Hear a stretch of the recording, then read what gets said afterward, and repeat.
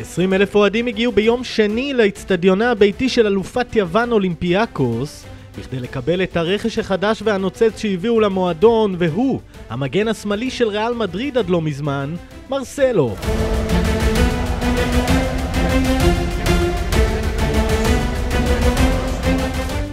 ברזילאי נכנס למתחם מלווה באשתו ושני בניו שהגיעו ביחד איתו לאתונה במטוס פרטי אחר הצהריים האוהדים הנרגשים הדליקו אבוקות ביציע וקראו בשמו וראו את מרסלו עם חולצת המועדון והספרה 12 על גבו אותה ספרה ששימשה אותו במשך 16 עונות בריאל מדריד.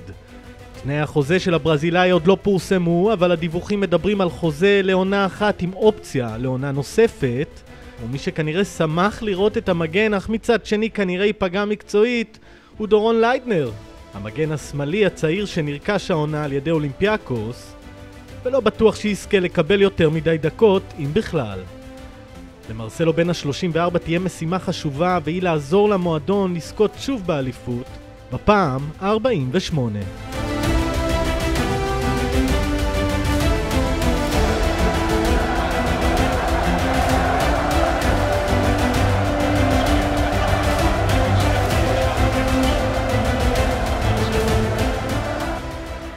Espero ayudar al equipo con mucho trabajo, uh, con mucha fuerza, eh, dedicación. Muchas gracias a todos que, que han venido. Σας ευχαριστώ όλους για την υποδοχή.